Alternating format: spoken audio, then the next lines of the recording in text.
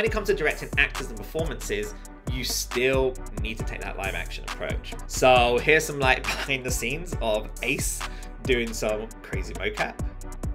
Um, and what's really cool is that he's able to do all these movements. I'm able to see it on an Xsens skeleton and I can give him direction and I can see what that skeleton's gonna look like as opposed to waiting for the data to come through and then coming with nasty surprises. So sometimes his elbow would intersect. So I was like, hey, can you move your elbow a bit higher? Here, you know, we do some action scenes and clearly I've watched way too much John Wick.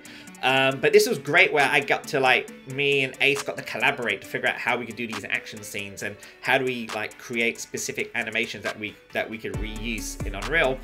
Um, and how to do weapon handling because we knew that we had a machine gun, we knew we had a gun, uh, pistol, we knew we had some melee weapons, but this was like this was like a, from a director's point of view, this is a dream because I literally have a sandbox to do what I want. And again, like you can see, even the Xsens viewport is real time. So this is what I mean. Like real time has enabled me as a filmmaker to really like come up with the most insane, crazy ideas and not be so limited. I also did, like I said earlier, we did the very first bunch of mocap was done during pandemic, and that was done um, remotely with Gabriella being in Florida. As you can see there, here she's using the Manus gloves. Um, and again, like her screen would be split up with the Xsens view. Sometimes she'll show me the live link in, in Unreal to see how it's looking on, on the skeleton. But most of the time, like, you know, I'll be directing her and she'll set her whole room out, lay it out based on the floor plan I'll give her.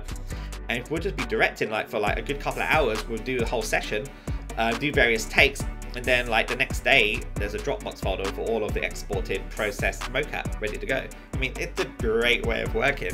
And also it's a really great time for motion capture artists to not just be mocap artists, but they can charge as a mocap studio because essentially you are a mocap studio if you're doing all the processing and everything. So it's it's a great commercial time for a mocap artist to to kind of like work anywhere they want and provide that service. Well, I think it's fantastic. So this is what this is what a Zoom um, screen looks like when you're directing mocap remotely. So you can see here, um, I have my shot list, which is my very detailed shot list with the assigned shot numbers that reflect the same shot numbers in Unreal. I've got the viewport, Xsens viewport from Gabriella's side, and here's my floor plan so that Gabriella can adjust her room to kind of spatially map it out as close as she can so that you know when she's moving from one chair to the other chair it's as close approximation we have in unreal